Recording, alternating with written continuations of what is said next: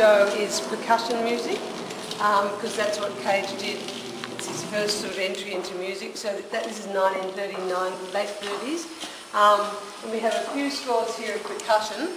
Imaginary Landscape number one and first construction in metal uh, scores that he tried to, he was always trying to break the boundaries of whatever he was doing. So, um, so those scores, uh, he tries to bring in what he calls more new sounds.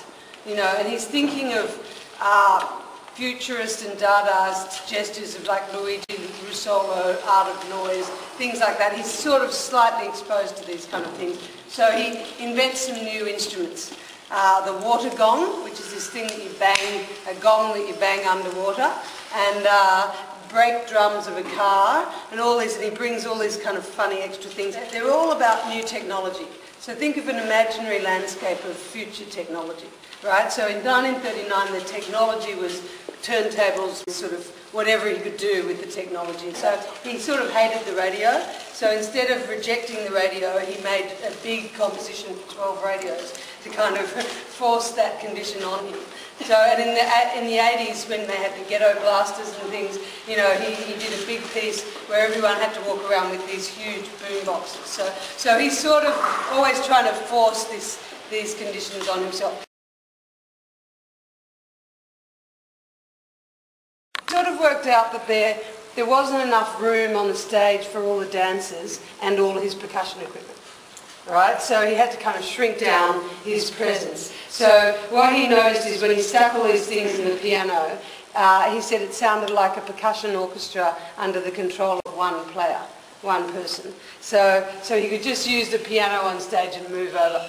My thought is that the dance um, also sort of gave Cage a sense that the visual is often more powerful than the musical. And so later when he gets into theatrical things, uh, it's almost because he's, if he's little being quiet in the corner playing music, I don't know, somehow there was an orientation of the arts that he discovered by working with dance so much. Um, that the, the visual, he kept getting pushed aside and being accompaniment to the dance. You know, it was never, Merce Cunningham was never hired to be Cage's accompaniment. It was always the, you know, the music accompanying the dance. So, so there was this sort of hierarchy. So anyway, the prepared piano was sort of like a practical solution to get the music things into a certain part of the stage and let the dancers have the stage. But, you know, and people, people talk about the prepared piano as like vandalising the piano and all this, but it really doesn't hurt the piano. So he's, he had great respect for music. He was just trying to push the boundaries.